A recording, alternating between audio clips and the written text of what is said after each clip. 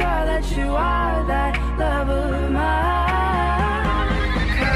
I'm in a field of dandelions, wishing on everyone that you be mine.